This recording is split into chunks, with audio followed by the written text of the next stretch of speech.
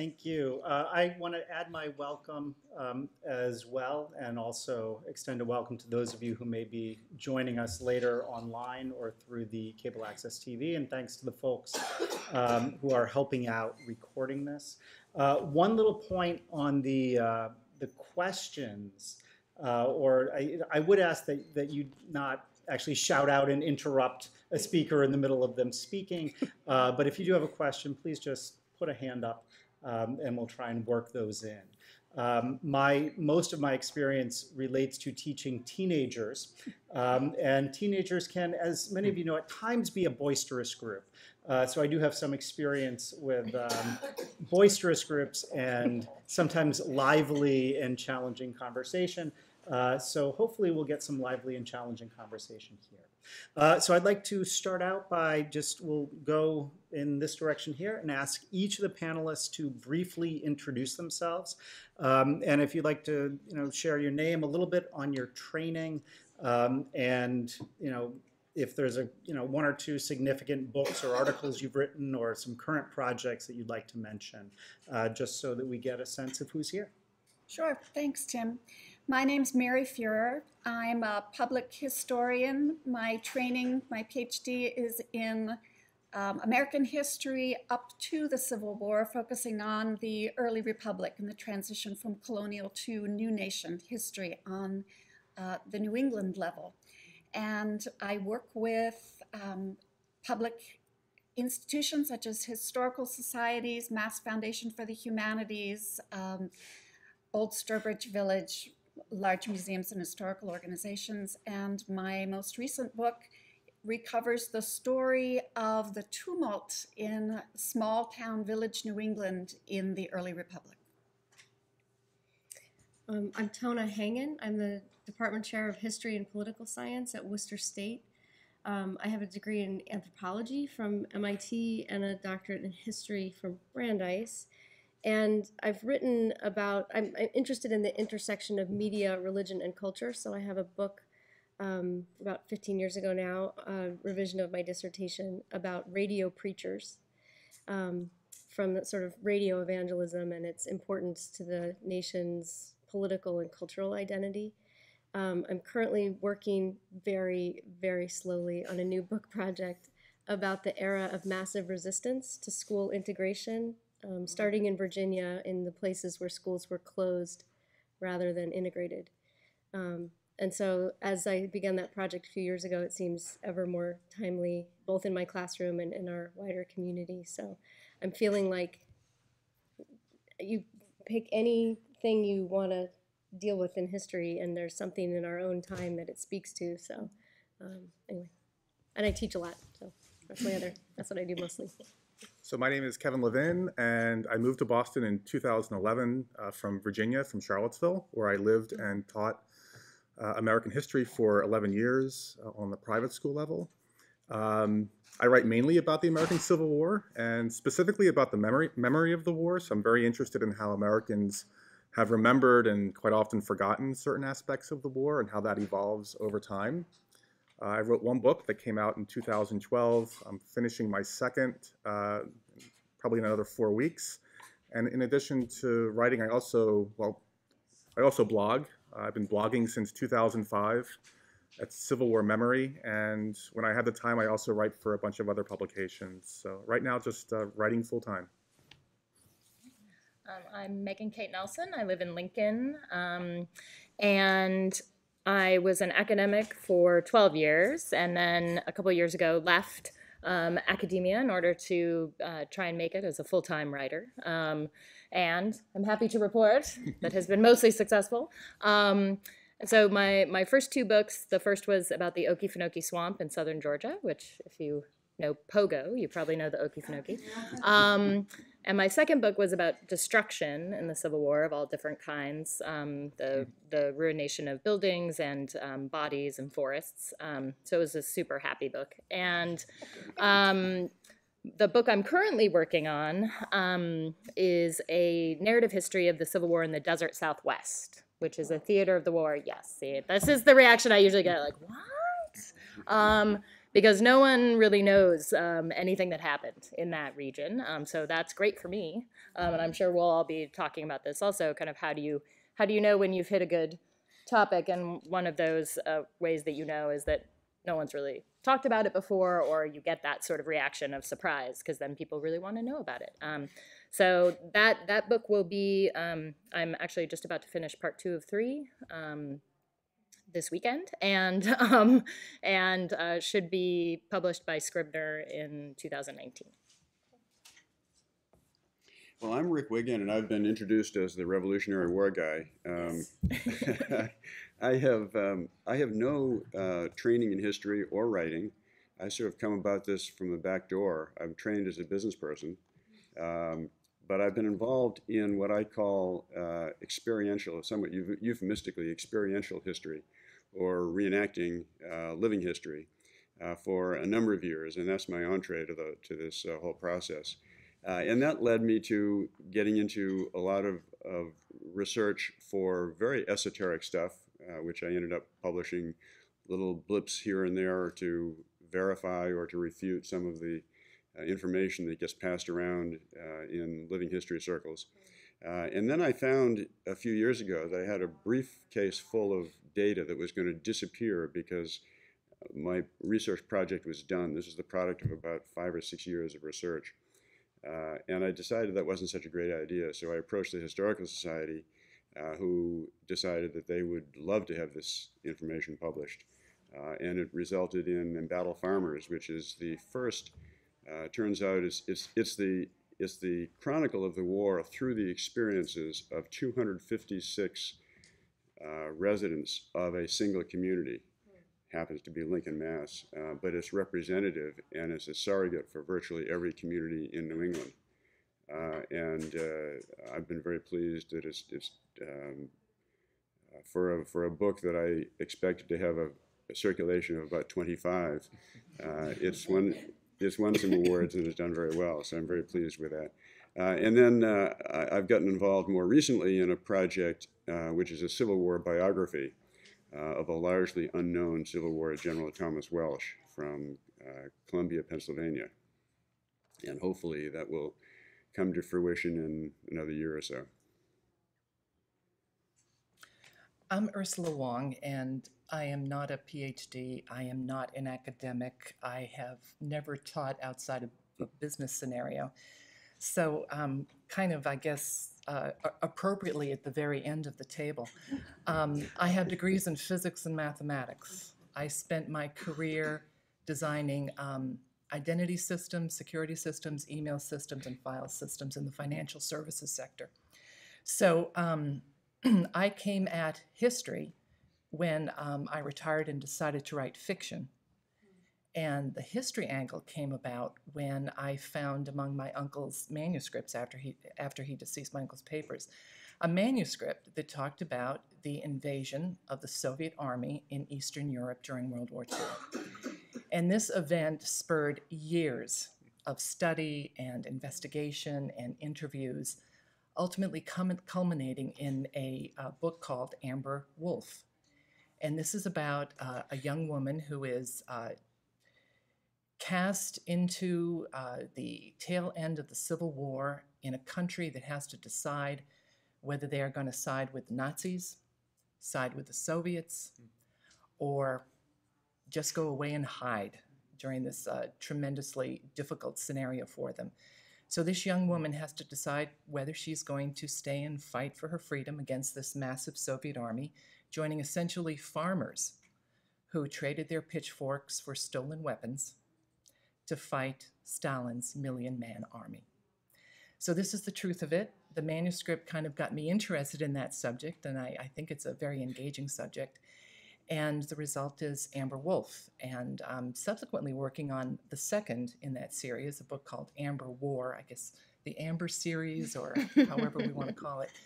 But Amber War is about um, the resistance fighters who ultimately realize that they're on their own and the West isn't going to help them, and they make personal decisions about whether they're going to fight the Soviets or try to, you know, go on and have some semblance of a normal life as a person in an occupied country. So That's Amber War, Amber War, and stay tuned. Hopefully, it'll be out this year.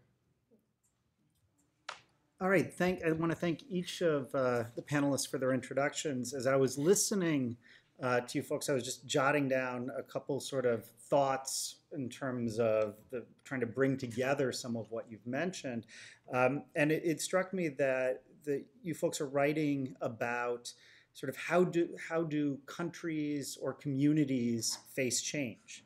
Uh, you're writing about race, you're writing about history, you're writing about memory of those events. Um, there was some discussion about formal versus informal training uh, for historians, or how we get to the point where we end up sort of producing the writing we're producing. Um, there, there's also this sense of particular or local history versus national stories, and and to what extent, at least with the work of two of you, um, does do those local stories reflect regional or national stories? And, and can those local stories help us to understand national stories in in other ways? Um, and i was also struck by ways in which our own personal narratives or or family stories and archives uh, can create openings for for the work uh, that we end up doing. I know with some of the, the things I've been working on, um, sometimes it's it's something as simple as you know finding a box in my grandparents' attic, uh, and there's this incredible treasure in there, and the treasure can become the basis uh, for a much larger story because it opens this window into all of these these different ideas. Uh, so even within the introductions, there's all of these ideas about about history and training and, and what this is all for uh, that have been raised. Um, so I, I, have a whole bunch of questions. The panelists have seen the questions before, um, and we're not necessarily going to be going through them in a list, but I just like to start out with um, this question of sort of what you do as a historian or as a writer. How would you define history? Um, is there a difference between history and the past?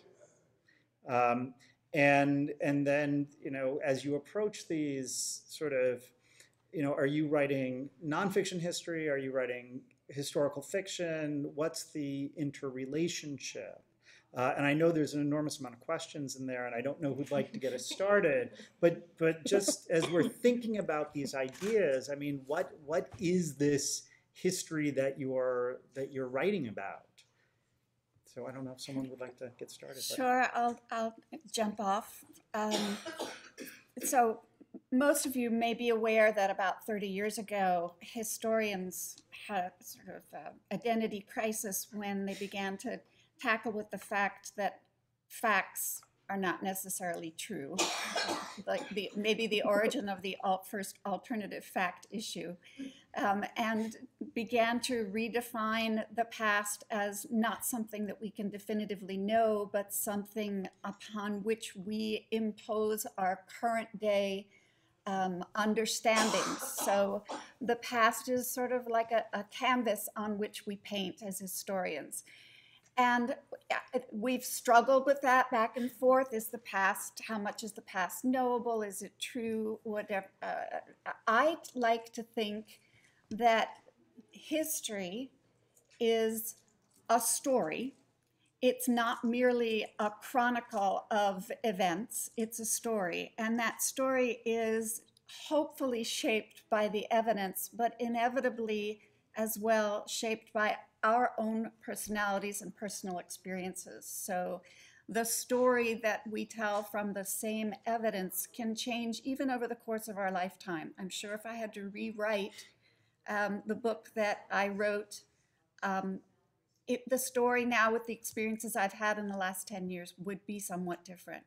So it's a, it is a, to my mind, it is a story based on evidence. Um, but if that's a big question, so I'm sure others have.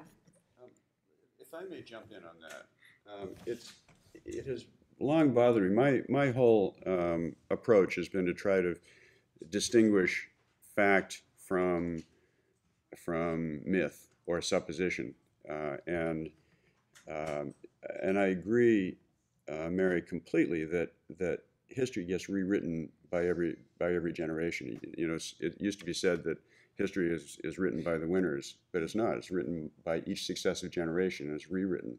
Um, it breaks down, however, I think, where where the facts, uh, where, where the rewriting becomes revisionist history and the facts become clouded uh, for a particular purpose. And if I can just briefly use, uh, and I hope I don't offend anybody, but the Battle of Lexington as an example. Um, there was no such thing as a Battle of Lexington. That was a creation that, that occurred by revision, re, revising history. It's traceable from 1824 to the centennial in, in 1875. Uh, and they created, uh, for local pride purposes, they created a Battle of Lexington to, to counteract the power of the Battle of Concord. And, and it's, it's, it's traceable through the historio historiography of the time. Um, it's a fascinating process, but now everybody believes there was this pitched battle on the Lexington Green, and it never was. There was simply a there were there were there were deaths on the, on the Lexington Green, but it was a massacre. It was a very one-sided. There was no return, virtually no return fire, and there was no no pitched battle at all. Um, so it's an interesting dynamic that that we face as as historians. I, I do historical fiction. So, um, one thing that I agonize over is uh, creating a balance. So, obviously, the facts of history are important. There are, there are facts, there are dates when things happen. Uh, maybe, as per uh, Mary's comments, uh, things can be interpreted. But one thing I worry about tremendously, especially in the World War II story, the Soviet story of World War II and the Eastern European counterbalance is how did people do what they did? And um, some of it was very bad, and some of it was very good and very noble. But I think it was all a balance. And I sleep at night because I make up characters. and I have my characters live the history. And by doing this, I can make a Soviet officer a humanitarian. I know there were Soviet humanitarians. I can make uh, a native Lithuanian partisan fighter a brutal person. And by statistics, I know some of the activity was brutal. So, in making this up, I think I can tell truth. And balance is a very difficult thing. And, you know, maybe we do distort history a little bit, but I think that one thing we can get to with the fictional part of historical fiction is raising awareness as to what happens so that we can apply it to what might happen. Yeah, I think um, this is an interesting kind of distinction between kind of facts and narrative. Um, but even when you look at, I mean, if we just were to make a, a chronological list of dates where important things happened, um, that's still shaping, right? You're still putting it in a narrative that makes sense to us. Um, and and this is one of the, I mean, when I was teaching, this was a really hard thing for students to kind of get a handle on because they're like, wait, no, what? Um, and it's a little easier actually to talk to them about it now with the world of social media, right? I'm Like, well, when you post on social media, are you giving the facts? Even even if you say like, this is what I did today, you're still you're choosing to represent that. You're choosing your words. You're you're maybe posting a photo. You know, you're doing all of these things that that shape these events, um, you know, with your own voice. And so any evidence that we deal with has this element of it, right? And and so for the work that we do, we just have to consider what what is all this evidence? What are all these narratives that people are are creating um, in the moment or after the fact? Um, and can we build an understanding of what happened and how people experienced it using all of those pieces of evidence together. Um, so it's not so much about, you know, am I conveying something that is true, that is factual, but am I creating a better understanding of what happened or what people believed happened? I mean, I know, yeah, Kevin studies Civil War memory, which is one of the most complicated and convoluted um, kind of um, creation of many, many narratives um, in this respect. So you yeah, probably. No, it, it's interesting because I think you can also approach your question in terms of what people want to get out of their engagement with history. So certainly you can look at it through sort of the lens of the academic who spends time in the archives and tries to sort of piece together an interpretation that um, that is as honest as possible to the available evidence um, and that sort of adds to the the knowledge, the historiography. And then, you know, you meet people in public who are living historians or connect with, especially in the case of the Civil War, through an ancestor. And so that's a whole other set of emotions and sort of thinking that goes on in terms of how they're engaging the past and what it means to them.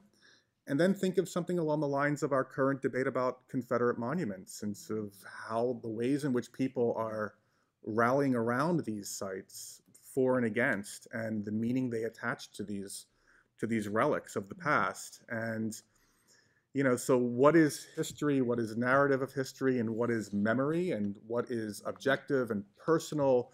I mean all of these things get really fuzzy. And and from my perspective that's when things get really interesting and trying to mm-hmm. just sort of wade your way through it mm-hmm. um, which is extremely difficult and sometimes i think futile but you, you do your best um, just to uh, just to maybe not pull things together, but I, I think this um, is the first question to ask. Really, like what what is this? And what, and for my own students, I lay it out carefully at the beginning of each class. History is not the past. There we there is a past. there was a past. Um, none of us live there anymore, um, and there's evidence from it. And that's all we have of, of the past. And so every time we even make that list or begin to impose our significance upon that evidence from the past, then we're doing history.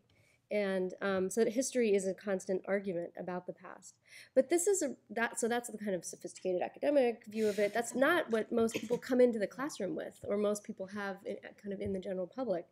Um, a couple of uh, semesters ago, I came across a law that was passed in Florida, passed, by the way, not just proposed, but passed in Florida in 2006, signed by Jeb Bush, and it begins like this American history was an education bill. American history shall be viewed as factual, not constructed, shall be viewed as knowable, teachable, and testable, and shall be viewed as the creation of a new nation based largely upon the universal principles stated in the Declaration of Independence. I, I can kind of get behind this, the second and third parts of that. I mean, okay. But the first part of it, I can't get behind. American history shall be viewed as factual, not constructed. That is precisely not what I'm doing in my classroom. I'm trying to always to, to say that history is constructed and it's built in the living and the experience, right? In the reenacting, it's built in the creation of characters that are plausible, but maybe not, you know, didn't actually exist and it's created as we try to shape our own stories about the past and as we keep arguing about them. Uh, Richard, were you formulating a response to that, Well, or? I, I sort of was, and, and but I'm not sure that, that we need to have a debate among ourselves here about about, about what what constitutes uh, factual versus constructed. I mean, I think that's a very interesting interesting issue. But um, but I think as historians, David Hackett Fischer told me years ago that that as historians we we try to uh, to figure out exactly what happened.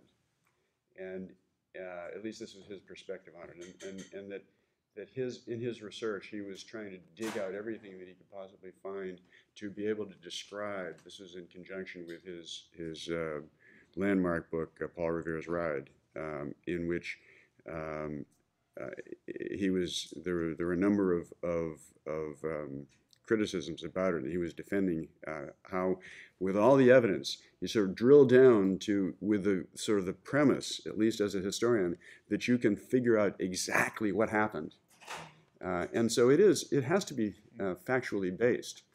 Um, but yes, it, it, I mean, it does get reconstructed. I mean, you have to reconstruct the facts. Uh, no two people on any battlefield ever have the same experience, for example. So, So which one is which the one is fact? it? Which one is the fact? Sure, Right. sure. Or they both, or all yeah. considered, yeah. Go ahead. Um, I was wondering if the panelists, and I, I think Richard and Ursula, who kind of are the dynamic opposites, Um, I was wondering if you could just talk about endnotes, footnotes, and getting from your sources as you see them to the words you put on the page and the process that goes in because other than copying everything from your primary or secondary sources and saying this is a primary source, this is a secondary source, this is why I think it may be right, it may be wrong, and doing all that and writing a, a very maybe dull narrative.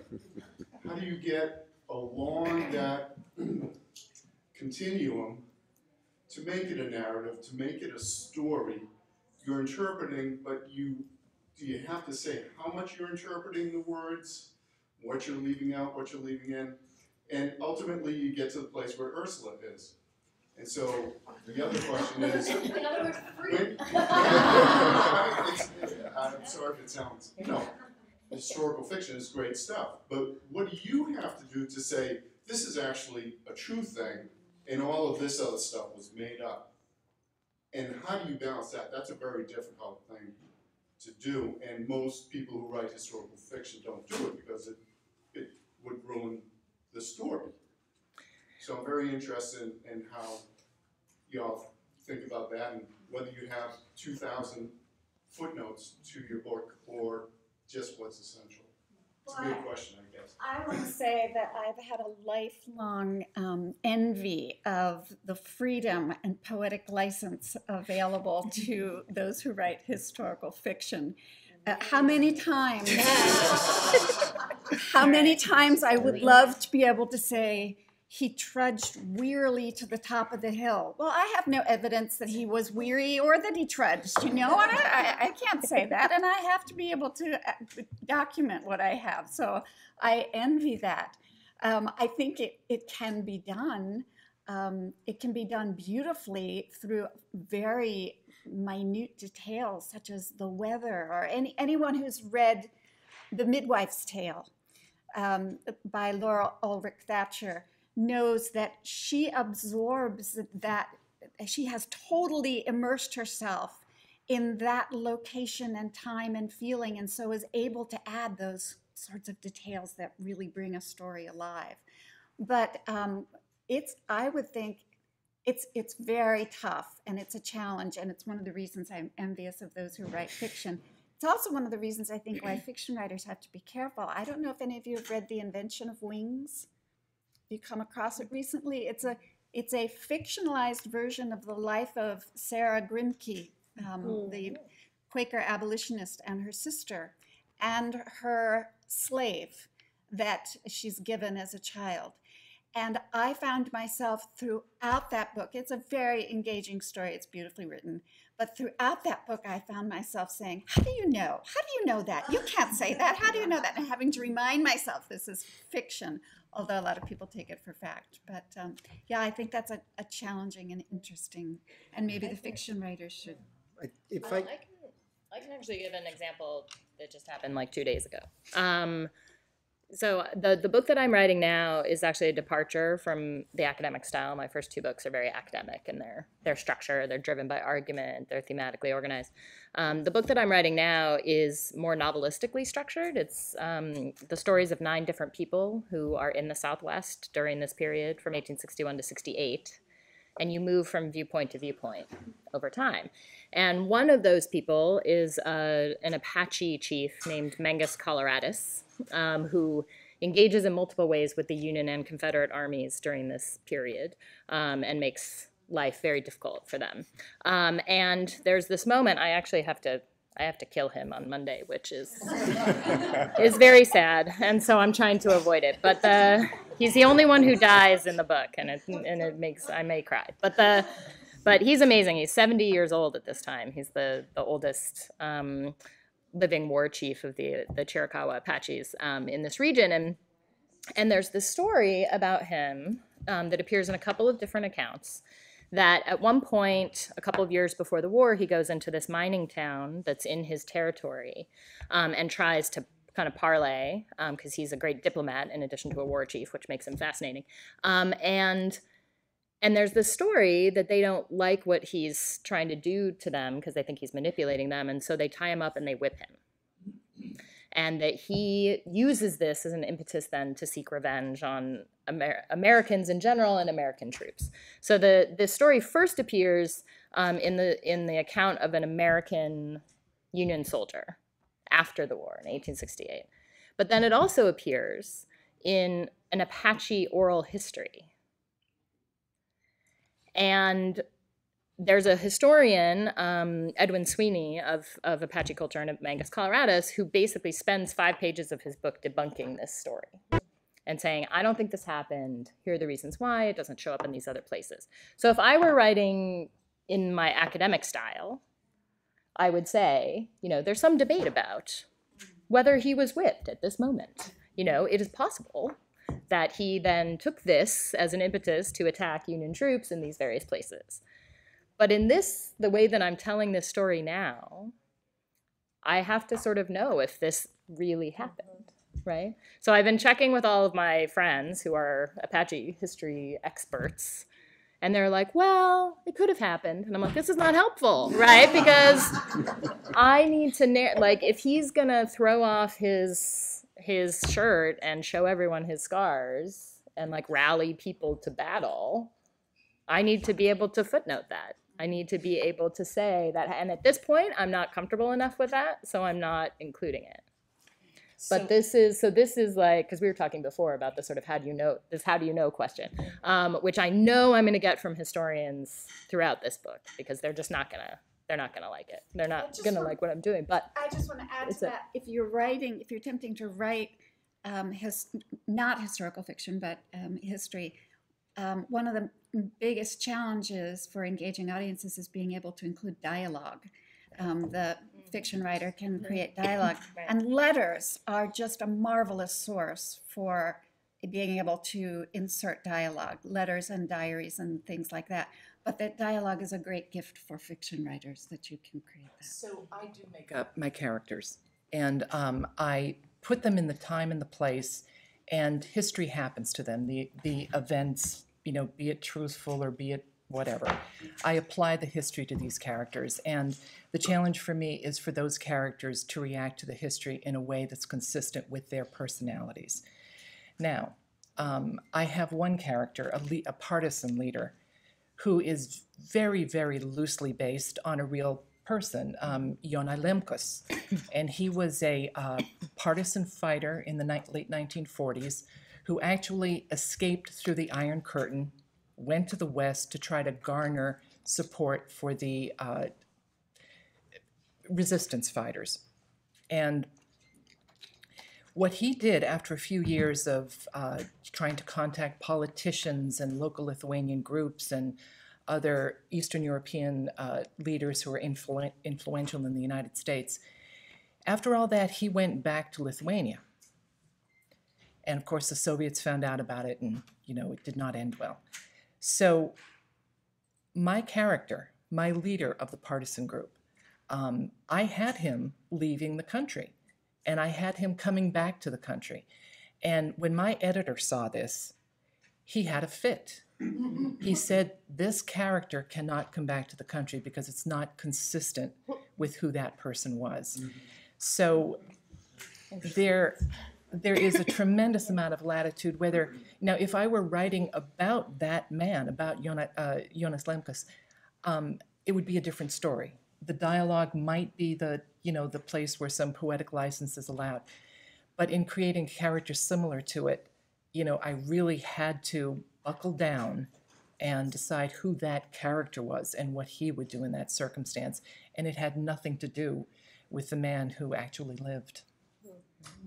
I, I think to respond a little bit and maybe try and drive the conversation a little bit forward, um, there's there's this whole discussion which is happening around sort of history and truth. Uh, what happened? How do we know what happened? And how do we tell that story?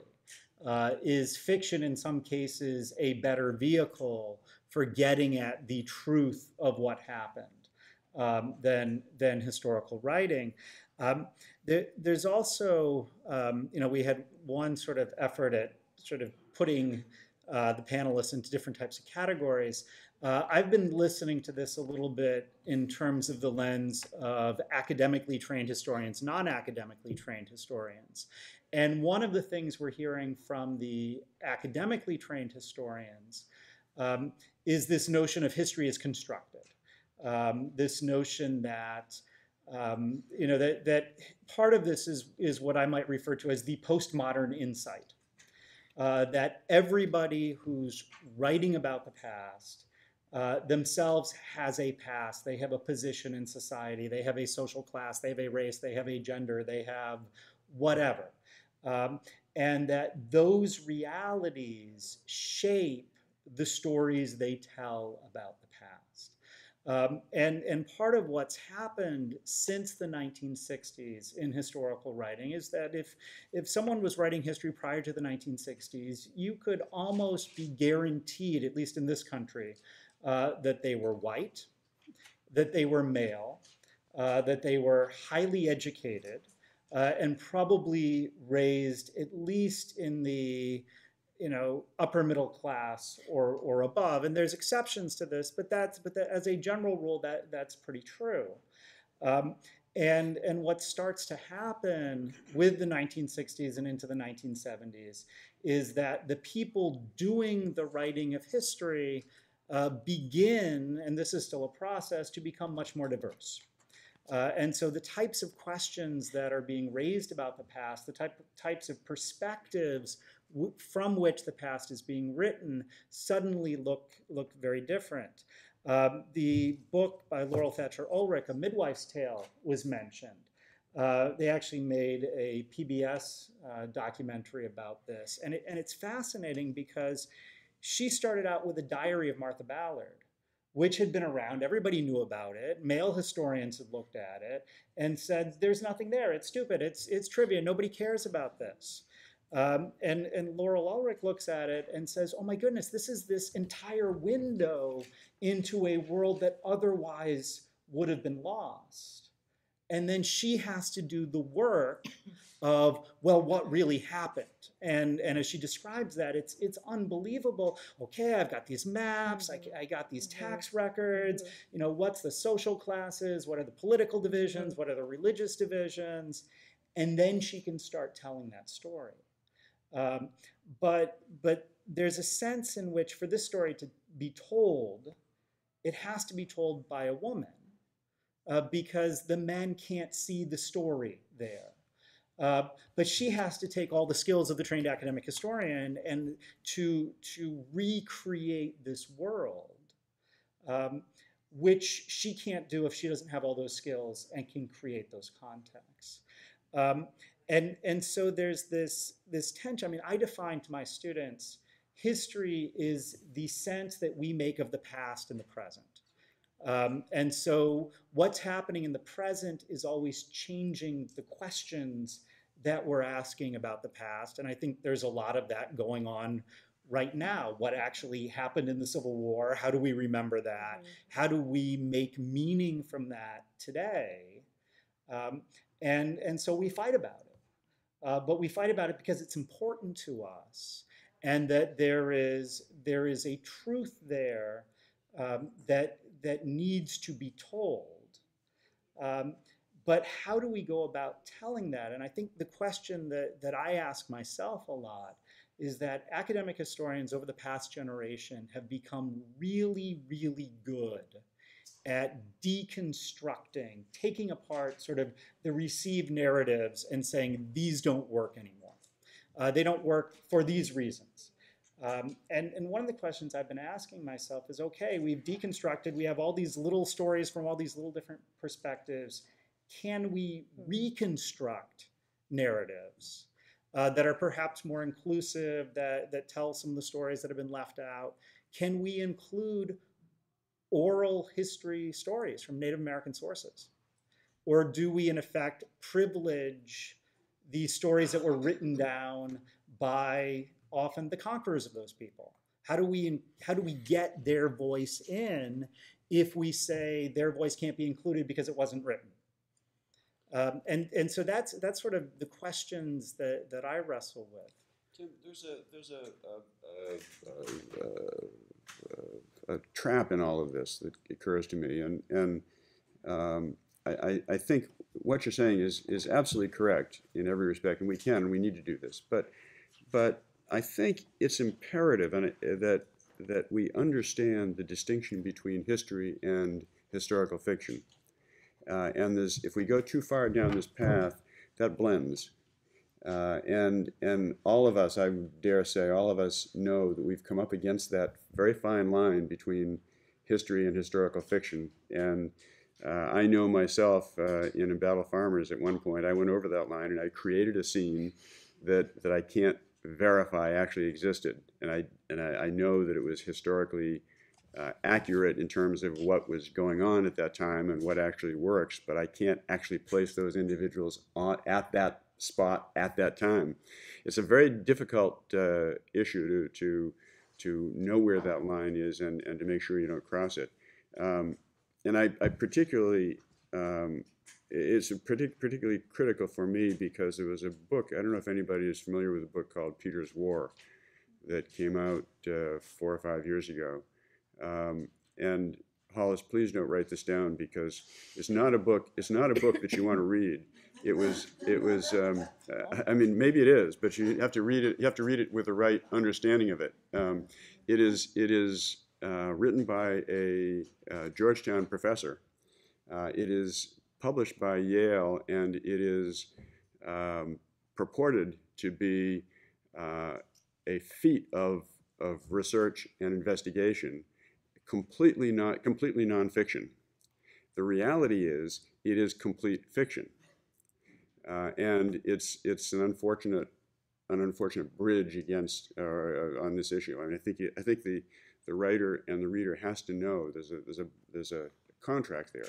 Is this an attempt at writing history, or is it an attempt Can, can not I to be ask you, like, how did you, did you, in that scene in your book, did you end up deleting it or did you put it in italics and sort of say to your reader, this didn't happen, but it could have, or did you just leave it in there? Uh, Megan, I'm not sure what I did with it actually. Um, I, I, I, I was, I, and I was, I was sort of aware that I was that I was crossing the line. I mean, I had evidence that that what came out of that scene was was valid. I had evidence that that scene was recreated on on town commons across New England, um, and so I had all the inputs. Um, and and where I crossed the line was simply um, drawing a line between those various those the, connecting the dots that way. Um, uh, how did I represent it? Uh, I hope I footnoted it to say, well, we don't know that this, um, but we'll have we'll look after the meeting and see.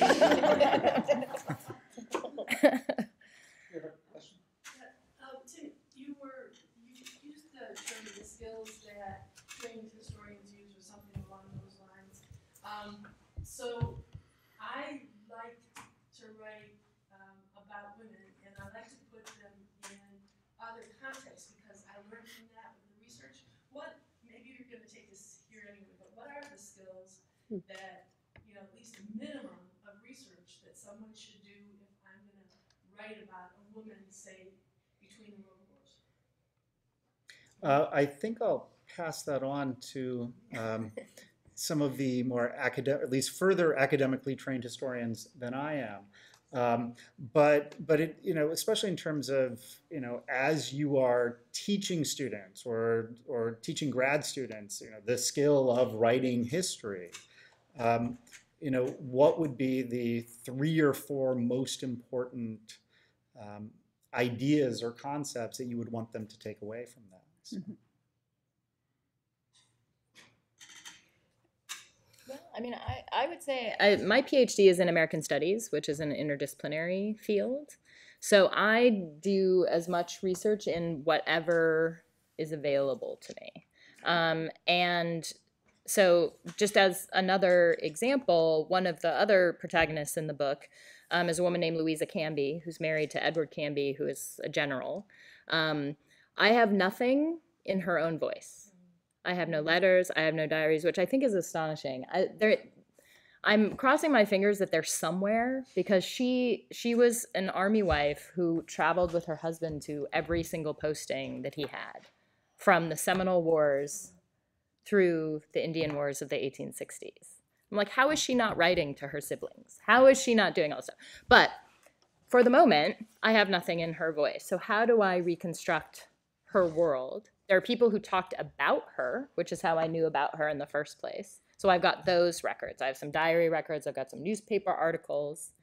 And then I've got him, I've got the husband, right?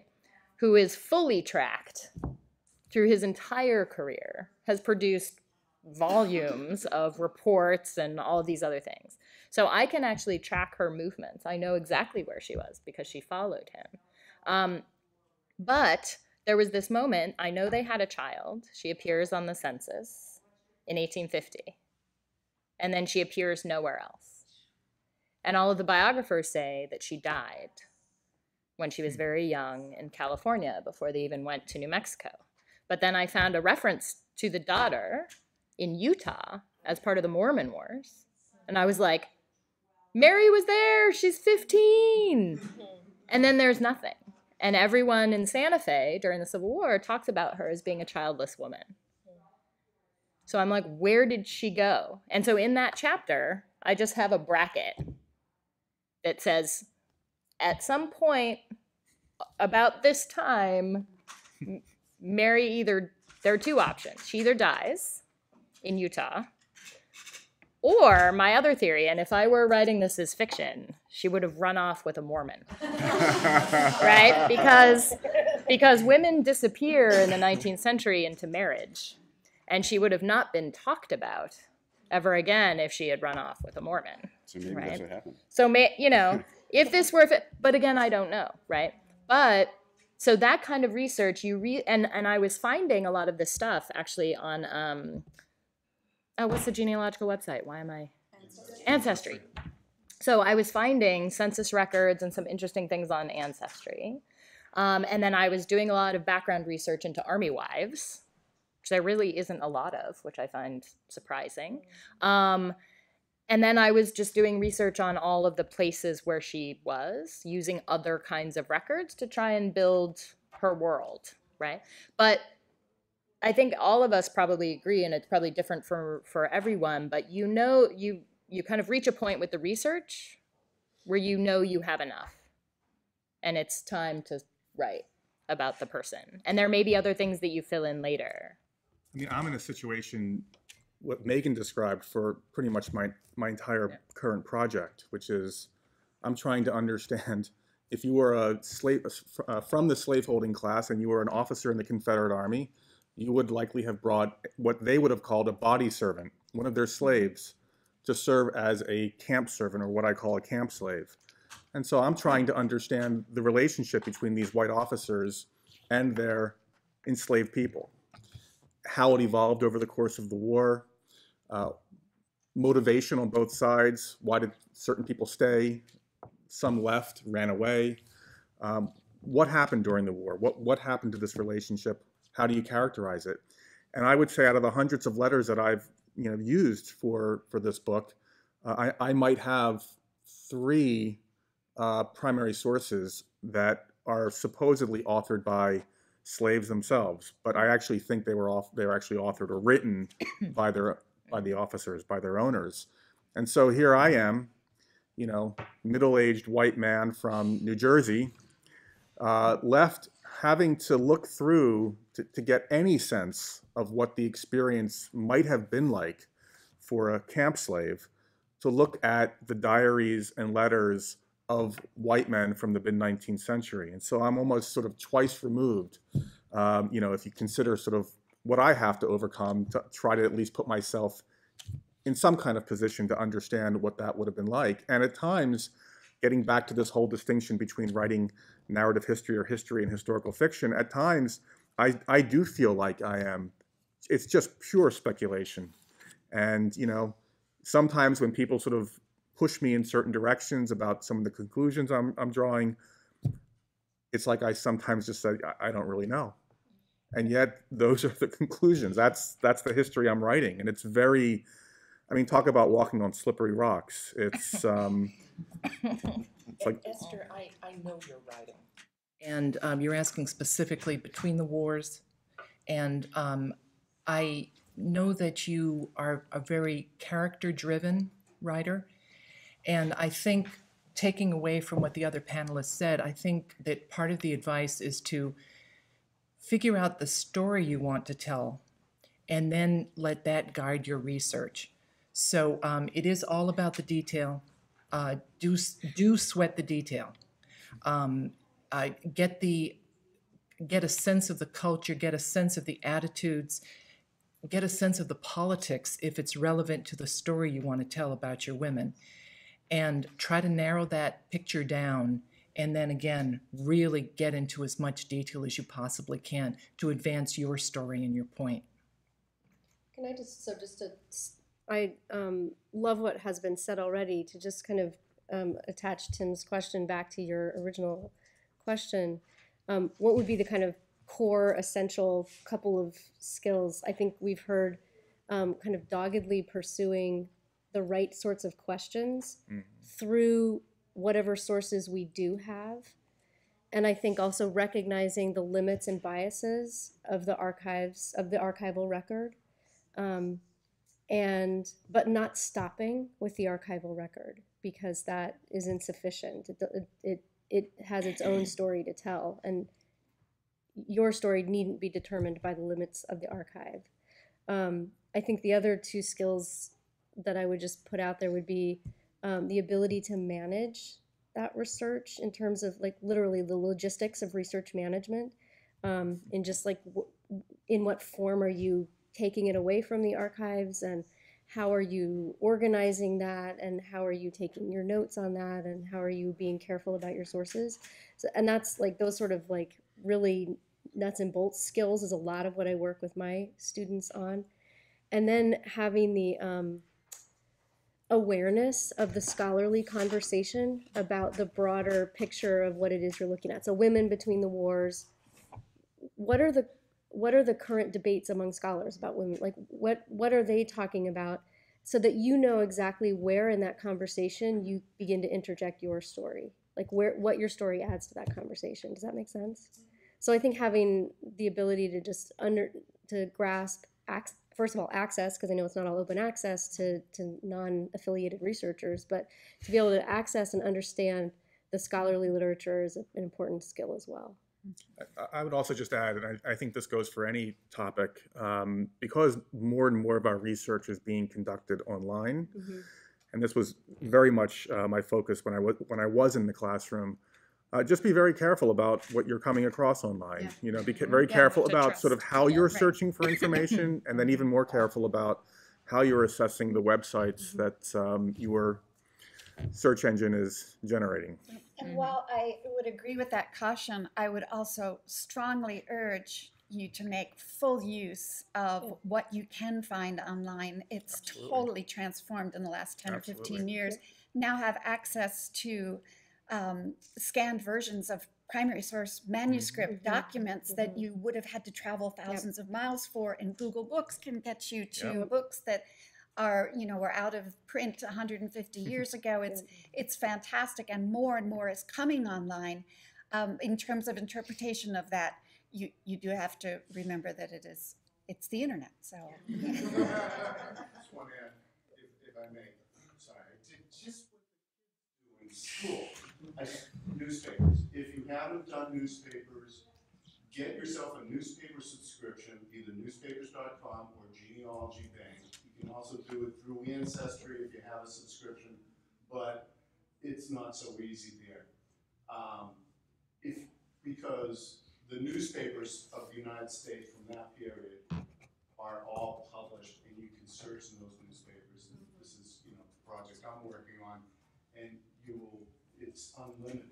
You always have to take it through the lens of the reporter and who the reporter was talking to, but you will get, you will find so much stuff. You had a question? Yeah, um, I, just to sort of add to the, what are the, what are the genres that, that make use of history? Um, I recently read, audio read, um, a, um, a book that I, I think is brilliant in that it really sort of breaks a lot of the, the mold. Um, Thomas Jefferson Dreams of Sally Hemings, an amazingly written book that sort of crosses history. It actually has um, excerpts from uh, so-called slave narratives, um, and um, it has fantasy, it has fiction, and it and it sort of opens another another way of addressing history and, and who you know some of these figures were the known and the unknown you know thomas jefferson being in many ways one of the best known figures in you know revolutionary history and sally hemings being this person who you know is gradually being brought into historical awareness and her family and, and their heritage um, so uh, there there's more choices than Mhm. history Mhm. and historical fiction Mhm. um, in the sense of um, historical fiction in the sense of that's it's if you think of painting it's almost like you know realism in painting that there's there's more Mhm. possibilities for how people can be creative but also bring in you know these these primary sources you know how valid they are hard to say as you as you point out but um, I think it's it's worth thinking about you know how we in this in this postmodern kind of um, way of thinking about history um, can bring that um, can see all you know more angles than than those two categories might suggest. The, the change in the publishing industry over the past, uh, whatever, 10, 15 years um, has allowed this to happen with much more regularity. I mean, have you ever heard of the uh, genre Bollywood punk? I read some of it. It's actually kind of fun. It's, you know, uh, but the thing is that um, is, is writers and researchers, I venture, we have more latitude to do things that uh, will find an audience. And in fact, among you, I know one writer who is mixing sci fi with a little bit of uh, history. I believe it's the Chicago Fire. And uh, this gentleman has spent a tremendous amount of time getting the details right in that Chicago fire. And it's put in this context of a very futuristic scenario. And I think it's creative and engaging. And I think many writers are thinking about that sort of twist to make the statement that they want to make more engaging to more readers. So I think you make a very, very good point. Yeah. I- I- Well, I, I wanted to um, actually go ahead and then I'll talk. I was just gonna say that from a. Um, I think that's great, and I love genre kind of mixing and boundary crossing in that way. Um, the only issue is that I'm not sure that editors and publishing houses do. Um, when I because my my book has such a different structure, um, it was actually kind of a hard sell out there on the the trade book publishing market. Um, the comments about it from the people who declined to bid uh, were it's not epic enough as a story about the Civil War in the West. I was like, two of our most popular and fundamentally dramatic um, developments in American history, is the War and westward expansion. Um, not epic enough. Okay. Um, and then the issue with the bu- and then the other issue was there are too many people because there were nine people. They said really there should just be one, and I was like, and I know who they wanted, and it was Kit Carson, um, who's one of the nine, um, because he was a Union Army colonel, which is something people don't know about either, really. Um, so, and I'm like, I'm not going to just write another biography of Kit Carson. I mean, there are enough of those out there. I'm sure we need any more of that. But to, to weave his story in with all these other people actually illuminates some interesting things. Um, so, so it's difficult, right? Like, what if you have a, a genre blending book like that?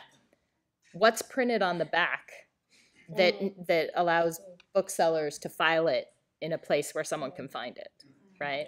I mean, I'm not sure, you know, do any, does anyone go to bookstores anymore? I mean, maybe they do, but the, but even on Amazon too, like in the metadata, like that's how they get all of that, right? Like that's how you would find it in searching or would say, if you like this, you will also like this, right?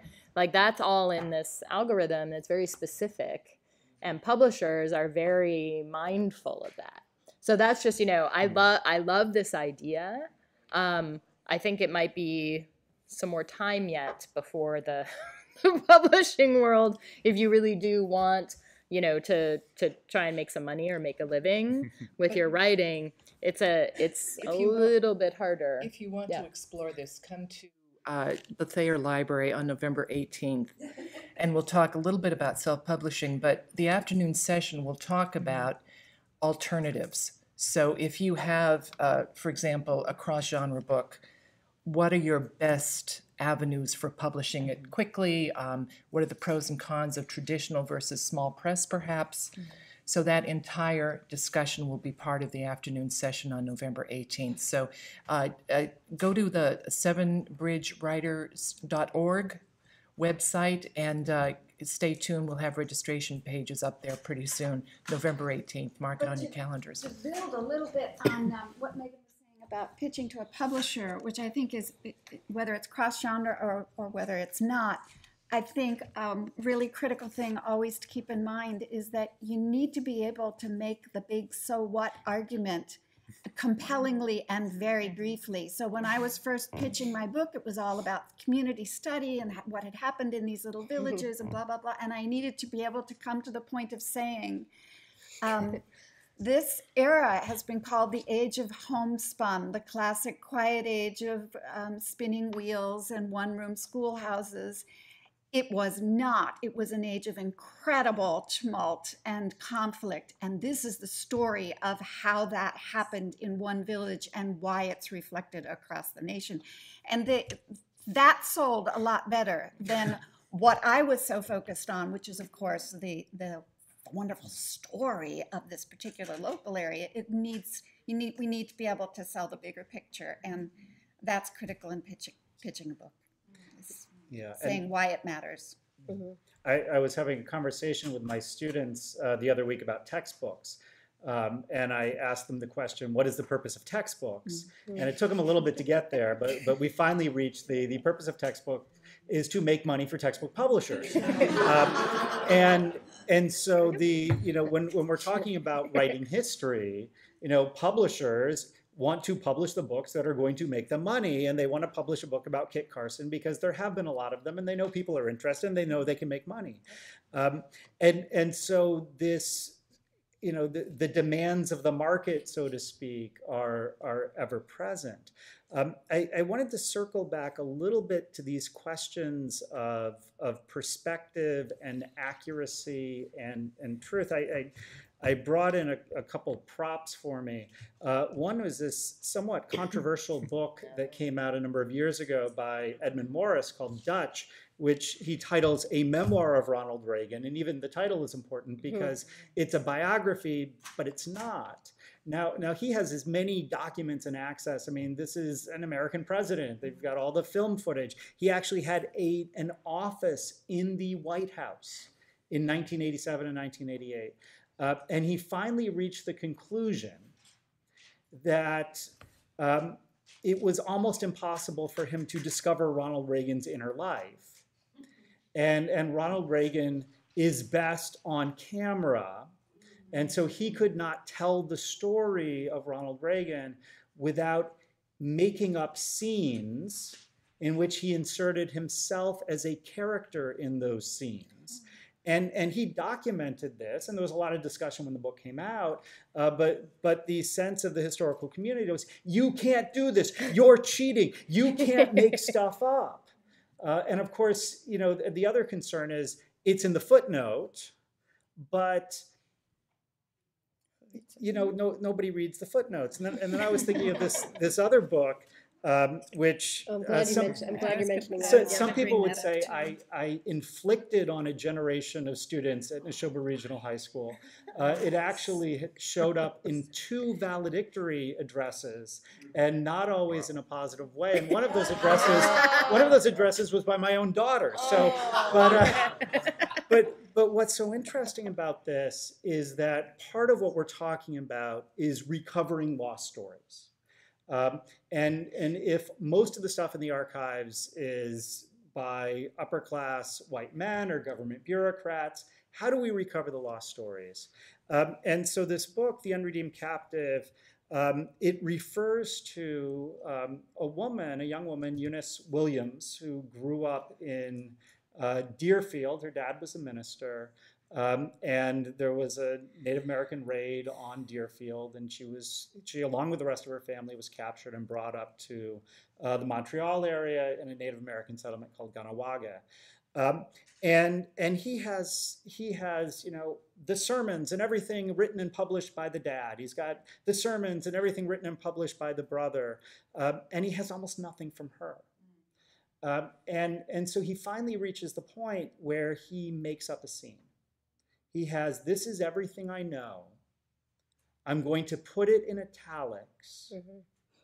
and tell you how I am imagining this probably went. And, and it's interesting, you know, he, he's an older white male historian. Um, he, he told this story once at the American Antiquarian Society about this, that, that he actually got accused of raping her that trying to get into the mind of this young woman, uh, him as an older white male, uh, that, that he's not even supposed to go there. He's trying to empathize. Um, you know, he, he would say he's still hoping that somewhere, someplace, somewhere, you know, they'll uncover her version of the story, that it's lost in some archive, but hasn't happened yet. Um, but, but so, you know, he's completely clear. I made this up but this is the evidence I'm making it up based on. And I think, and he was using some Freudian theory and other things uh, as a way of trying to get at this internal experience. Um, but, but even that becomes, you know, is seen by some people as problematic. Um, and so this, this line of, the, there's times where the narrative, the story demands, in a sense, that that we break a rule. Sometimes we need to be explicit. Yes we're breaking a rule here. We know we're breaking a rule here. Please know i'm breaking a rule here.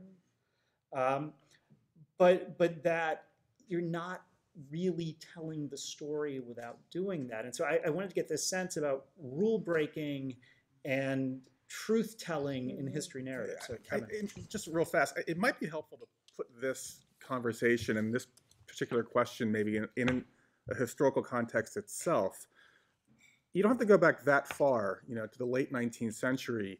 I mean, that's really where this notion, where, where the professionalization of history really begins, right? We start sending people over to Germany for these advanced degrees, and this notion, as I understand it, of you know history being professionalized, that we're going to sort of worry about historiography and truth and footnotes or endnotes and all of this stuff, that, that this is a relatively recent development when it comes to how we think about the writing of history. I mean, if you go back and look at mid 19th century historians, um, the writing is more about, as I understand it, um, you know, about engaging uh, stories about morality, about about values, not necessarily about simply telling the truth as, in a strict sense as we understand it today. And it seems like some of our discussion, and that and this may be justified, um, sort of is starting with the assumption that how academics, and I'm saying this as someone who was rejected from a PhD program um, back in 2003. Um, Badge of honor. I- I- um, that, that somehow uh, this is the standard and everything else is being judged against it. And I'm, and I'm wondering if it might be better just to think of the kind of writing that some of us do up here is just one along a spectrum, uh, of just one example of how we try to um, use the past to make sense of the present. Because it seems to me that's what it all has in common, right? It's it, we're, we're trying to understand ourselves uh, in time and, and place and, and our surroundings. And it seems to me there are different ways to go about that um, through the engaging of, of the past, trying to understand the past. So I just want to throw that out there as just something maybe to keep in mind as we push forward.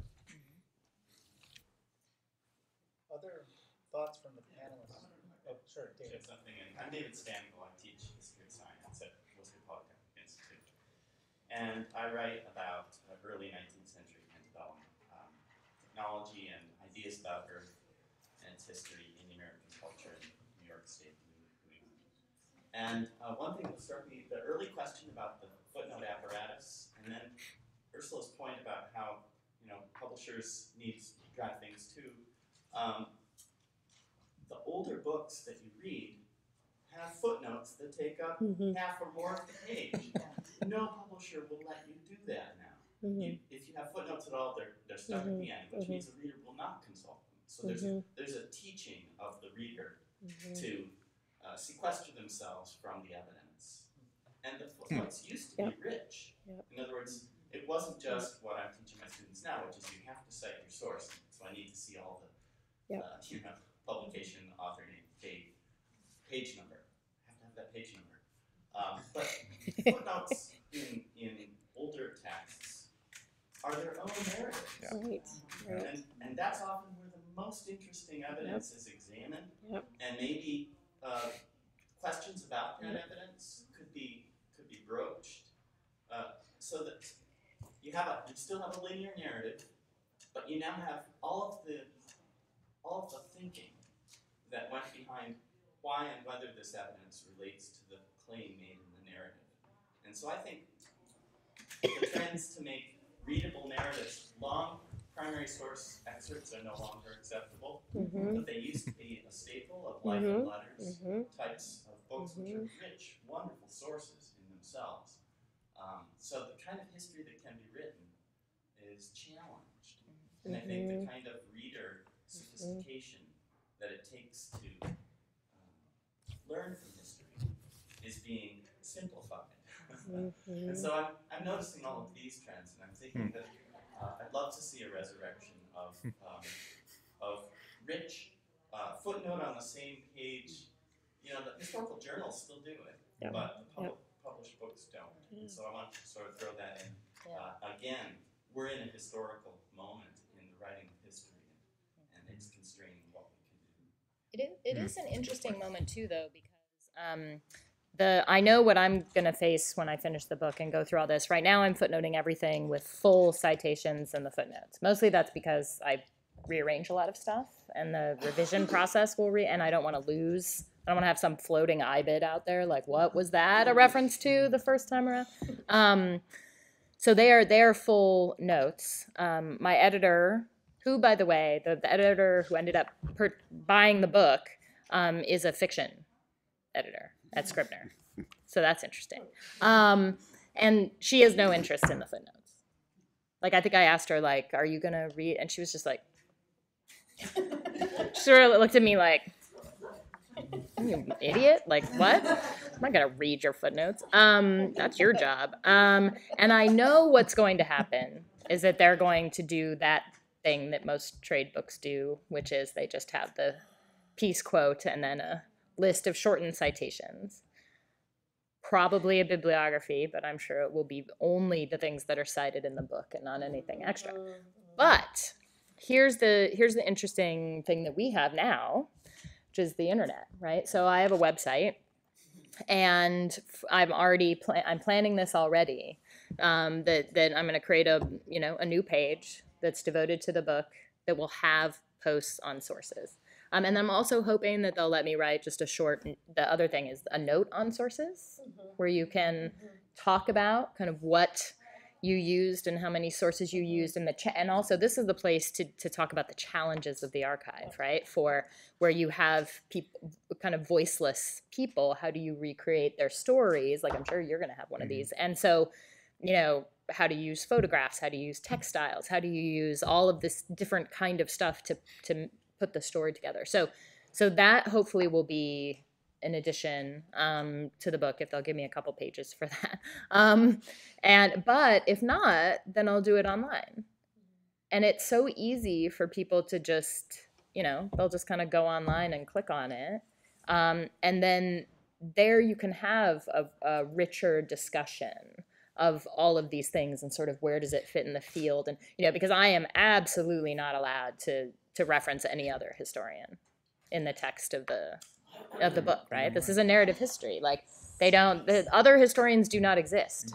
So i am not the they are i know i know it's totally crazy. Um, i sort of love it though. It's so it is freeing in that sense. But but they you know i'm only i'm i should only be quoting primary documents and not i do not quote from other historians. I take their you know i read all the other historians and then there's a footnote but i convey their if i'm going to convey their arguments i convey it in other words and then i note them right And they'll be in the acknowledgement section. and they'll be in the acknowledgement section. All those who have come before, yes. But this, I mean, these are the again, this that's a very specific context for kind of trade history. Um, but there are multiple ways to go about it now that I think are because I, I also I'm also hoping that on the web I'll be able to do some of those geographic information system maps to show all my people moving over time in concert with one another. That's not possible in the book, right? But it is possible online now. So there there is an interesting, you know, back and forth. If they don't read the notes at the end of the book, will they read them online? Maybe. we'll see. David, you, you use the phrase simplifying um, history, and that kind of sticks with me. Um, from the other side of the spectrum, um, I cite references in Amber Wolf. Um, there are a dozen or so books that I poured through to do this, and it's not footnotes, but it again it tries to Do you have a enrich- note on sources at the end? yeah, yeah. It, it tries to enrich the reader's experience. So if they are interested in that slice of history, there are other places they can go for more information. But I think that one thing that fictionalizing the history, um, and I, hope that good writing does this, I hope it challenges you because it, I hope it puts you in the moment of the history. Um, so that you know, if if your child, if if if you're gone and your child has to face a critical decision as to whether to hide from a Soviet soldier or go up and kill them, um, what would your child do? I, I I hope that good writing puts you in the moment like that. Now, in a certain respect, yes, it is simplifying, but I, I think it's also personalizing it to a great degree to kind of engage you and put you in the moment, and perhaps that has some value in itself. Um, I was curious about, uh, uh, from the public standpoint, when they're reading a book, and I agree with you about uh, the footnotes can be very enriching in the manuscripts you come across. Do readers today, are they interested in footnotes like that? I'm wondering, I mean, I think there are probably some people, probably the majority of people in this room would be, or they wouldn't be here. But I'm just curious about, in general, uh, if someone came across out of the general public, uh, uh, a quarter of a page of footnotes, would they be interested in it? Just, just out of curiosity. My students skip them. They skip them. Yeah. They say they're like, oh, the page is shorter. Yeah. I, I think certainly uh, publishers, especially um, you know, the the, um, the big publishers. I mean, if you go back and look at the endnotes, um, it, it it often seems as if they're just trying to do the minimum in citing the sources. So quite often you'll see um, the quote that was cited uh, on a particular page, and it'll have the quick reference to it. Um, but but that's about it. You're not going to get the um, sometimes the reflections on the historiography that you'll find in, say, academic books. My, my sense is that um, the average reader is not So, so interested so much in in sources and endnotes. Uh, they're interested in a good story. That's but is, it- is mm-hmm. that driven by the reader or by the publisher? I think the publisher. So I think they're also in, in many the marketing of the book, in many, at least from what I've heard, uh, depends on the number of pages. They're thinking about price point, things like that. So they're mm-hmm. trying to constrain, in some cases, you know, just the, mm-hmm. the number of pages, things like that. Yeah. So sometimes the endnotes, I guess, are shaped along those lines. And only the true history nerds are really interested in like the infighting, right? The like I I always when I was teaching, I'd be like, let's let's uh you know read these footnotes. And there was there was one glorious footnote. I can't even remember in what text where where the author cited both her ex-husband and her ex-husband's new wife. Like, and I was like, "Oh my god, let me tell you about this." And the and the students were just like, I don't understand why you care. And I'm like, but it's okay. Yeah. But they, yeah, there's just not, and with, you know, state of the field stuff, I think academics are super interested in that. And I think there are ways to kind of, you know, if you if you are really pushing against someone who is very prominent in the field, then maybe, you know, people who are, you know, in Civil War history, there's this huge readership of Civil War nerds who just completely love that stuff, right? Because there are some revered historians, and if you go after that historian, they're sort of like, ooh, you know, and they they can be kind of excited by that, but but that's a small percentage, I would say. I don't know anyone who's ever done that. Yeah, I'll, I'll just add one quick point. Uh, I, I have a recollection from college of a professor really pointing out a footnote. It go to page 17, the footnote right here, um, and it was it was so significant in part because of one of those internal dialogues. They had taken um, something which was a standard book in the field and essentially said, we don't need to pay any attention to that. The entire book's wrong. Um, and and it was interesting because at the you know at the time they're also sort of modeling things. So so I tried to pull that in a paper that I wrote in college, uh, and it did not go over very well. It was just you know dismissing an entire book and and I actually still kind of dismiss that entire book today but but you know there's sort of the point at which it's considered acceptable to do that and and the point at which it's not and and that raises some questions I hate to wrench this from the really interesting philosophical approach to history and narrative. However, I'm old enough to remember uh, index cards. Today I use Scrivener and I use EndNote for my work. Um, they're yellow pads as well, you know, you do everything. And I'm curious to know what who uses here uh, to pull all this stuff together when you're getting really into the um, the uh, motive assembly. Let's talk about our tools. In other Mhm. words, Yeah. let's open our toolboxes. I love it. I can't wait to hear what everybody else is going to say. What do you Well, do? what do you do? Well, I I need I need help with this, so I, I need I, I want to learn. I I'm I want to talk to somebody who uses Scrivener. I've never used it. Okay, so we'll talk later.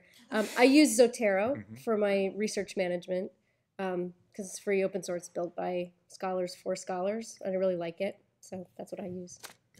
Um, and then I just yeah, Zotero and Word, and I have a really complicated um, in filing system for my in the archives. I tend to take photographs of documents because that's what you're allowed to do in the archives these days, rather than notes. Um, and which is nice. It's changed really changed the workflow in the archives. So I I leave the archives with gigantic amounts of digital photographs of documents. Um, so I know there are ways to turn those photographs from JPEG into PDF and to combine them into documents. I don't have a research assistant to do that with me, so I'm just keeping them as JPEGs. So I have this really complicated. Yeah, I know there is an app for that. right. That's why I want. That's why I want to hear about other people's tools. But right now, I just have a um, complicated naming system, so I rename all the photographs so that the image bears the And these are all just saved in. on yeah, and then they're just saved. Yep. is. And so then I could essentially by by pulling an image, I could it, it, it basically has the footnote in the image title. So that's my system. Uh, What what what what you got, guys? I, I'll just say I, I also use Zotero, especially Mm-hmm. for bibliographies, and then um, the rest of it's a complete mess. And and um, That's real and that's and that's the way I like it. It, it makes it makes sense to me. Um, I feel like I'm on the cusp, but you know, I, I'm sort of on that boundary between sort of the traditional way of doing things, note cards, um, paper, and the digital stuff. And um, I never quite, you know, there are certain aspects of the digital that I embraced, and um, and the tradition, and mainly sort of just trying to just toe the part, you know, just keep going on the traditional line. And you know, at this point, it doesn't make any sense for me to try to change. It's just not. I mean, it do- just doesn't. Yeah. Yeah, Yeah. Yeah. Like digital books. I mean, like e-readers. Forget it. You know, I, I just can't do it. I want to be able to write in the pages, underline, and have it and smell it, and Yep. you know, Yeah. that's part Well, of the I'm- experience. yeah, I'm a. If one can be a technological luddite, I am that. Um, because what I will usually do is read a text. I'll do, I can I can do it online. I've gotten more kind of adept at doing that. Um, and I'll, either online or on paper, and then I I'll have a note file for that source. Then I cut and paste those into a chapter file, which then gets reorganized as I go um, into different parts of the chapter. So it'll be like context, you know, if we're talking about Louisa Canby, Army Wives context, Louisa Canby biography, you know, the photograph of her. So I do have a photograph of her, like a, you know, and other kinds of stuff. And then I just keep adding to those thematically. Um, and I find that what that does is then I have a two layer process where I've read the text and then through typing the note, it gets lodged in my brain a little more firmly. And then through organizing it in my notes, it's even more firmly kind of put in my brain as how, how is this going to turn up on the page? Then when I get ready to write, I'm sorry, trees, I print it all out. then I take notes on that and highlight. So I go through many highlighters. Um, and then when I sit down to write, I have those pages, sometimes a couple books, but mostly just the pages because it's functionally an outline. Um, even though I also have the notes on my computer screen, and that's and I use that to cut and paste for footnotes.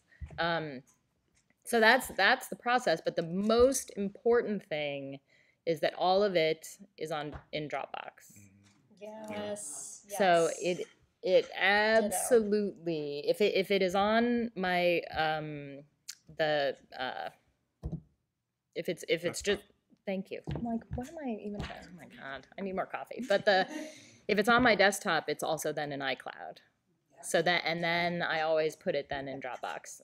I used to before that existed, I would email stuff to myself so that I had a digital copy. Mm-hmm. But the cloud is amazing and everyone should use it mm-hmm. because if your laptop implodes or if your computer is stolen you still have all of your work. Because if you you know when when i was in grad school and i was writing my dissertation like i didn't have any of that like if my if my computer got stolen it was over. Like i would have had to quit my phd because i would have had nothing right? Um, so yeah so that that has really changed. That just makes me feel much more secure. Like every day it is constantly being updated in dropbox. So i even if my computer freaks out i at most only lose a couple of sentences So the non-academic fiction girl has a system. Um, I uh, put all of my references I can online with uh, files for links. And then the data is in a spreadsheet. So I have character, I have character sketches, Spreadsheets are good. when people were born, what they did, all in spreadsheets and the history, um, uh, events, dates, uh, uh, uh, uh, uh, political speeches, all of that is in spreadsheets that I can reference in the text very explicitly. So um, my early drafts have um, material that I can validate very quickly. Of course, uh, later drafts have, have to remove all of those uh, um, references, but um, that's how I do it. Everything's online, and uh, spreadsheets are, are essentially what I use When you say online, what do you mean? on my computer. Oh, it's on your computer, On it's my not computer. On the internet, waiting to be. But dropped. so how Um, are you links saving all are. your links? Links are. I put links either in a spreadsheet uh, as, as a, a, a data point Mm-hmm. relevant to a subject, or I have files with relevant links, or I load down, I, I download uh, uh, the material and just keep it so I can reference it. Scrivener will do that for you. Richard or Mary, did you want to add on the research process? There's nothing I can add to that. If, if, if Megan Kate is a, is a Luddite, I'm a dinosaur. um, and I find, I, I find that, that uh, um, I mean, I do, I do bits and pieces of, I think, of what everybody's been talking about in, in, in some respects. But, but I find the fastest, uh, as soon as I as soon as I get some nuggets that I want to put into my story, I put them into my story. I, I don't wait. I don't wait around, and I put them in with a, with enough reference that I can find that source again if I need to. But but you know, I don't have this. I don't have this this vast files of stuff out there. No, it's it's. Uh, I need I need to learn from you all. Maybe we need to learn from you. We'd write books a lot faster. Uh, yeah. No, actually, um, everyone's more advanced than I am, so I, I use note cards. I sit down on the floor with my note cards and spread them out. Um, the note cards are all printed out from things I've written online, so I don't have to retype things, but I, I'm, I'm before the dinosaurs, so. But I did actually want quickly to move back to your question about um, the essential skills, just to make a plea for one particular type of skill or, or, um, or technique that I discovered later. Um, and it's paying attention to the unusual and the, uh, the what doesn't fit in. It's sort of a lesson from microhistory, the cheese and the worms and all that. And it it turned out to be so useful for me. When I was working with Mary White's diary, I came across a sentence that ended with two exclamation points. She said, hmm. "Our slate of candidates has has succeeded." Mary White never used punctuation mm-hmm. period and hmm. to use two exclamation mm. points. And just to pause long enough to say why did she do that? and to look into it mm-hmm. became a major story. She mm. was talking about the election of town officers selectmen. Who cares what she meant our slate of officers she meant from her church the congregational church slate of officers versus the hmm. unitarian church. And it opened up story of a huge divide in this town. Hmm. And it's just those little details those hmm. little specifics that little question marks. Why did they do that? That i feel can lead to really rich stories. Great example. So I, I um, read something once about uh, people who have relatively strong working memories uh, don't need to develop as established sort of research filing systems and things like that. Um, and, and sometimes I wonder if it's not just an excuse for a certain level of laziness about coming together, um, things like that. I mean, when, when I've done things, I, I usually try and break them into smaller pieces. Um, so, so I'm not working on a larger project. I'm working on a chapter or a subsection of a chapter. Um, and then my, my wife will tell you that I'll have papers and books and other things spread out all over the dining room table or uh, strewing onto the floors or things like that. And then I have a, you know, okay, I know I need that book. I know it's open to the right page. It's over there. Uh, but then we'll have a dinner party and the dining room has to be cleaned. And then that creates a little bit of an issue.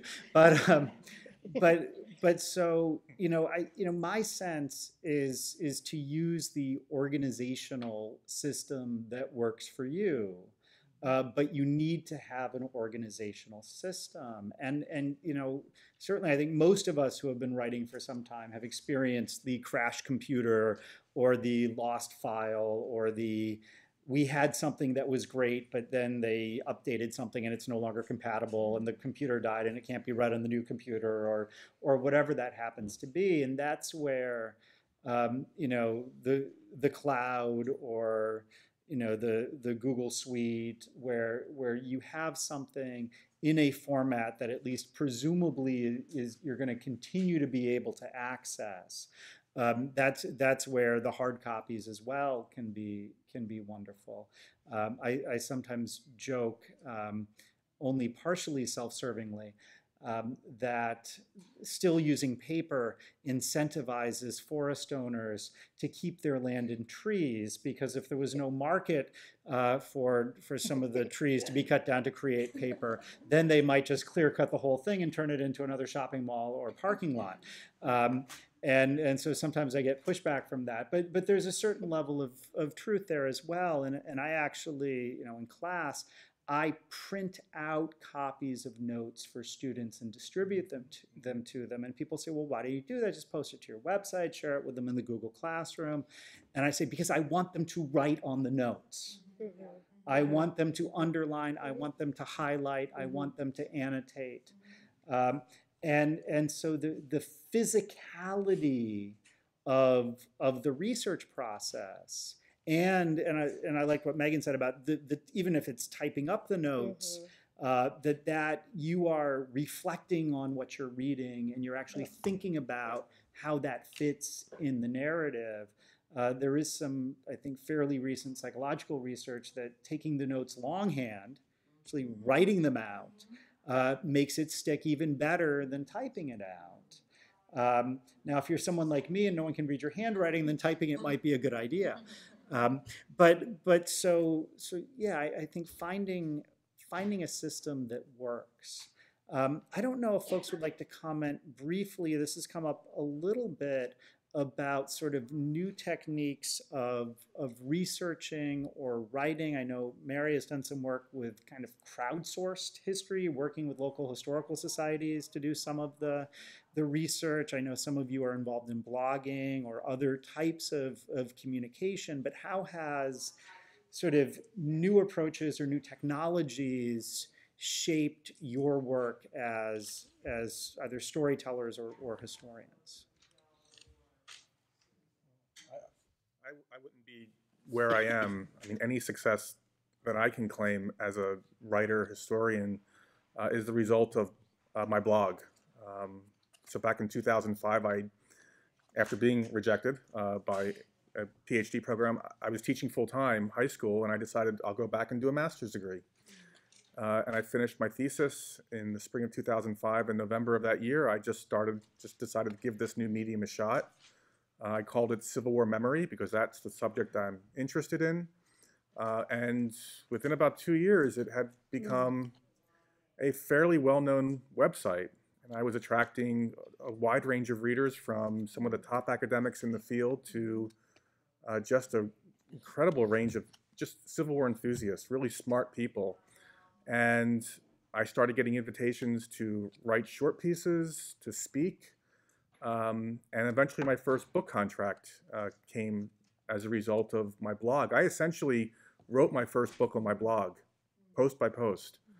Um, and it gave me the opportunity, since I'm not, I don't, I'm not, I don't live in the academic community. I didn't necessarily have easy access to other scholars, but with each blog post, I got incredible feedback. So I had the benefit of uh, readers from a wide range of backgrounds. Uh, I think the you know what I eventually produced is in large part a you know a function of my own research and thinking, but as well as um, just the contributions of others. So um, for me, I mean, I am the product of social media in many respects. I can't imagine what I would be doing right now if it wasn't for that blog. It, it made my it made my career. So it, it gave me the chance to practice writing. Um, I think I'm very much a sort of meat and potatoes writer. I'm not a great writer, um, but it just the the criticism and the critiques was uh, has always been helpful. I still do it. Um, so that was not by design, but it's just the way it, the way it evolved. So it's just one one experience. There are other ways too to use um, social media like Facebook and Twitter, um, not only to build communities and to kind of share your work, which is great, which is important, um, but also as a way to hone your writing style too. And it, it's also for you know for crowdsourcing, it can be really useful. Um, I uh, I'm Facebook friends with a ridiculous amount of historians, um, number of historians, and so uh, basically every week there'll be some posts will be like please help me read this word. Mm-hmm. What does this word say in this 19th century handwriting? Like, please, like, what is this? or does anyone know, you know, any resources based on this? And, you know, you're, that's a way to kind of usefully kind of get, get other people's perspectives and things they may have run across. Um, but also something like Twitter, and th- this hasn't happened, people haven't really been doing this, but what I've always been advising grad students now that I'm sort of out of academia and doing more public writing um, and if you're going to pitch your book, thinking about it as a tweet is a useful thing, right? Because you're like, how would I how would I describe my book in a hundred well now 280 characters, but 140 characters? Um, because it really restricts you. You have to cut all of the extra language of maybe and probably and oh this does this. Like it is you have to be very direct. Um, and the and and Kevin can also probably speak to this too, but when you start writing op-eds and you start writing blog posts, um, you also your your tone changes a little bit um, in into a- more of a direct like i am going to give this like i am going to express my idea forcefully like there and and because you are not footnoting and because you are not you know doing other things it kind of frees you up um, to get a different kind of authorial voice. I'm not sure you know for for other people it may be different. Um, but these are the ways these are all options now for different forms of writing um, that you can kind of play around with. If you have your own blog you can write whatever you want which i also do and it's fantastic. Um, but then you can also pitch to other outlets like slate or the atlantic or the washington post has a new um, series called made by history um, and you just pitch it to them but you need to but that's pitching is an art form right and that's a um, and so practicing your pitch on social media can be really helpful because it, it constrains you. You don't want to write some huge long post that goes past the dot dot dot on Facebook, right? Like no one who clicks on that. Like most people don't click on that, right? Um, and then Twitter will just cut you off. So, so it's a that's a it's a nice experiment. And actually, someone on Facebook there's a um, there's a group called Illuminate on Facebook, which is for fans and writers of nonfiction, um, not necessarily all historical, but um, but nonfiction. And they post every week about different things about like what are you reading, what is your kind of writing practice, things like this. And one of the one of the challenges last week was to describe your book in a haiku, which I thought was great, right? And it and it really kind of takes you out of your normal voice and kind of forces you to to economize with your words and put them in a different format, which I thought was really cool. And that's you know that's something generated online, which you know we didn't have even we, ten years ago. You know. We, we are approaching the end of our time, and I want to make sure we hear the, the rest of the voices on uh, sort of new media or, or new forms of, of research. If you folks would like to add something. From the uh, fiction side. Um, social media. So there, there are two big things I think with social media. And every time you post something, be it to Twitter or Facebook or even an email, it adds to your identity as a writer. So it's very important to think that through and have some type of consistent message because if you don't, your readers will think you're scatterbrained and uh, usually they will say goodbye pretty quickly. The other thing that I found of value to social media is um, directing my emphasis a little bit.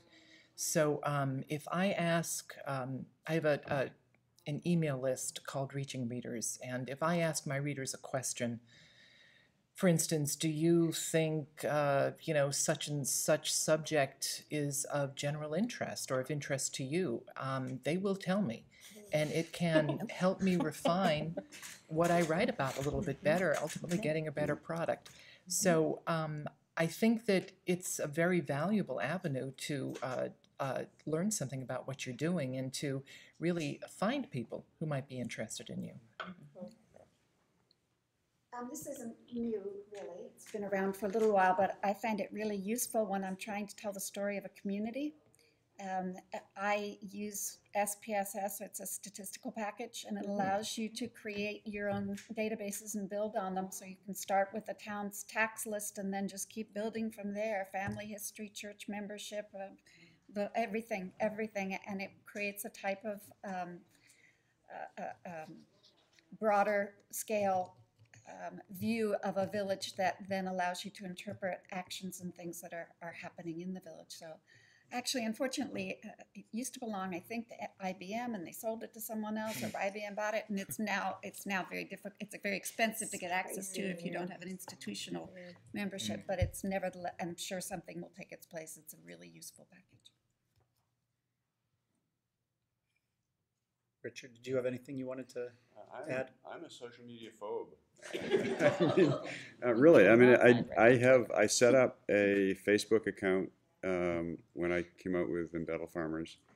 Uh, and my niece taught me how to, how to set up a personal account and a, uh, an Embattled Farmers account and, and to, to try to work back and forth. That lasted for about a week and a half.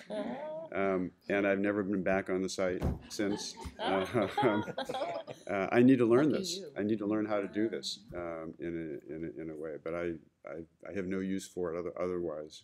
and and I I'm I have no interest in in uh, knowing the intimate details of my friends' lives, and so I stay away from it. Um, but it's uh, Well, you, then you don't wait. Like the great thing is you have like three hours of your day. That's amazing.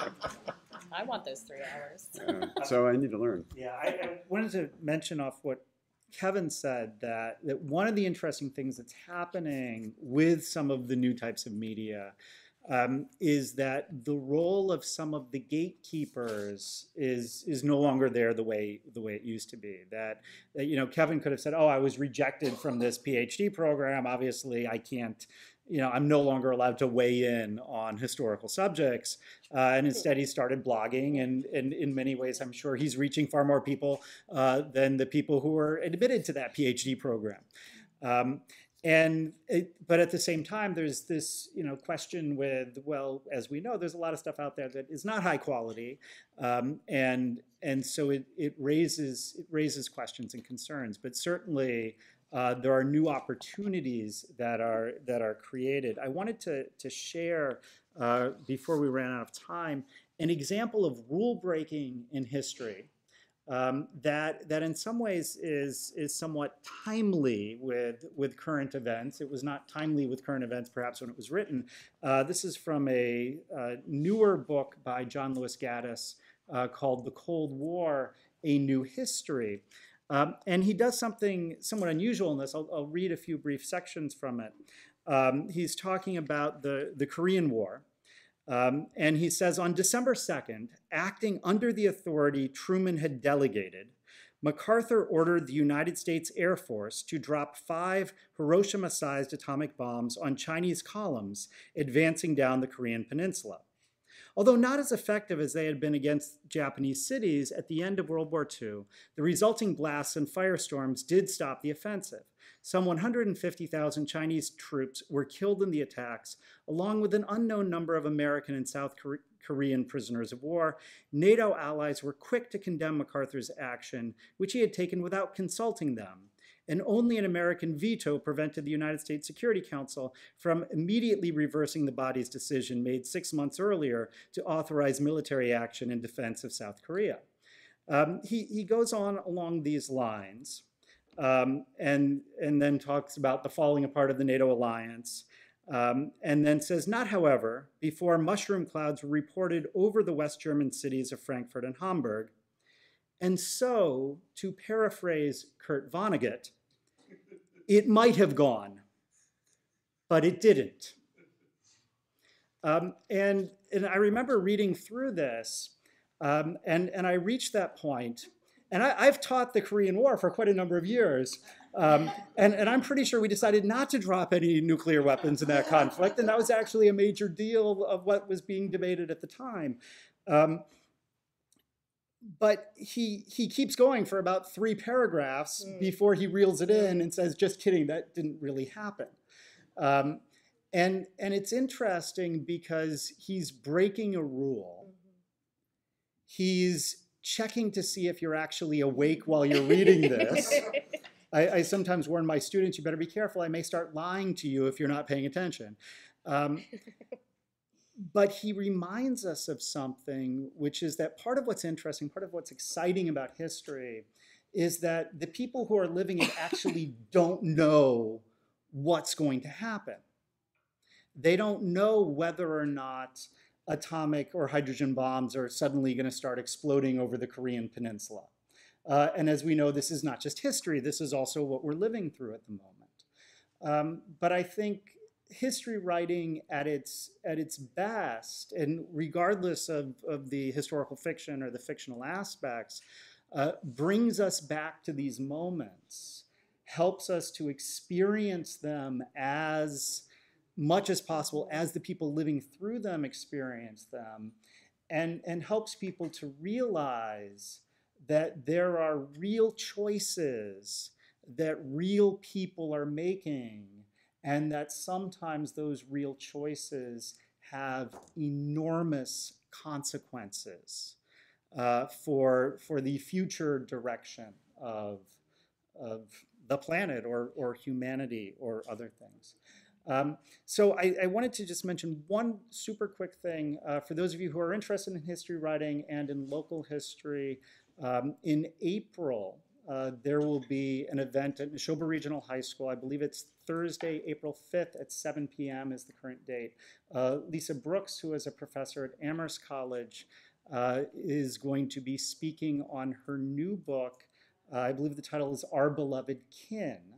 Uh, but she will be looking at the at King Philip's War and in part the Mary Rowlandson story uh, through the lens of some of the Native Americans who surrounded her. Uh, and Lisa Brooks herself is Western Abenaki, and so it brings a really interesting perspective on that. Uh, but we are out of time. Uh, I want to thank all of you for coming. Uh, I want to thank Seven Bridge for hosting this. It does provide a community for writers. Part of what we, we've heard is that writers need community uh, to help them with their work. Uh, and I'm sure the authors um, will continue to be available. They have some of their books here. Uh, but if you have individual questions uh, that you want to keep on with. Uh, but thank you once again for coming.